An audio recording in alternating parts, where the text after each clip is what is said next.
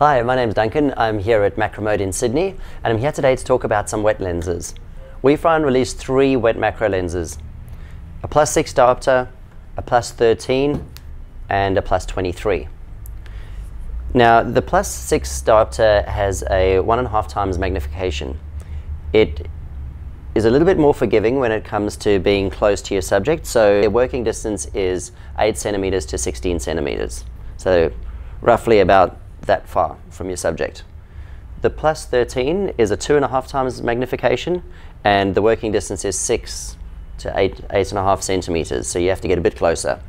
And with the plus 23, you have to get super close. So this is a 4.2 magnification, and it's got a working distance of about two and a half to three and a half centimeters. So your subject almost has to be kind of touching your lens, really.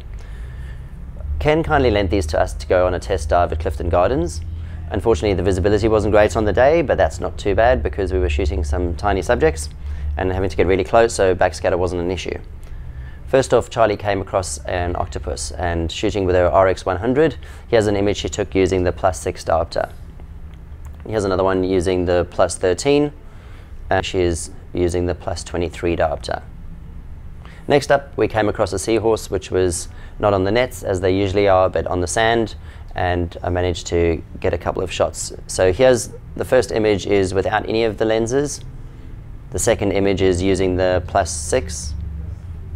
Now here's the plus 13, and here's the plus 23. Next up, we were lucky enough to stumble across a frogfish. In Australia, we call them anglerfish.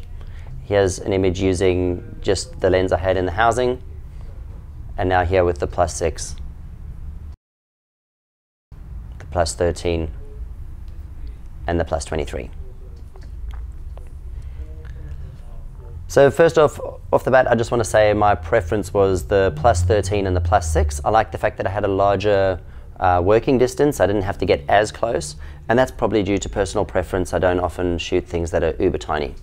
However, if the super macro is your thing, then the plus 23 is definitely your option. You'll get much greater magnification. The catch is you just have to get a lot closer to it as well.